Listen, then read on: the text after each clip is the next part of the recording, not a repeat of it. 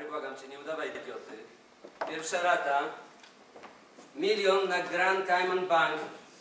Numer konta dostałeś w mailu. Płaciłem miesiąc temu. Co ty chamskiego? Prosta pluta, proszę pana, ja też zapłaciłam za ten pokój z góry Mierzwa.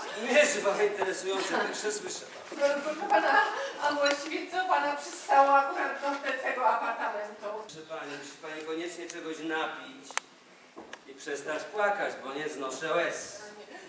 Nie znoszę łez, to niech się pan stąd wyniesie.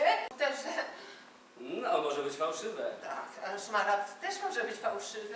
ale nie jest. Zna się pan na kamieniach szlachetnych?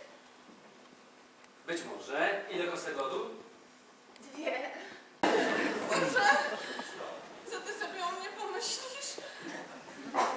Wiesz, że wy kobiety żądacie od mężczyzn oryginalności, a potem wszystkie rano zadajecie to samo beznadziejnie bezwładne pytanie.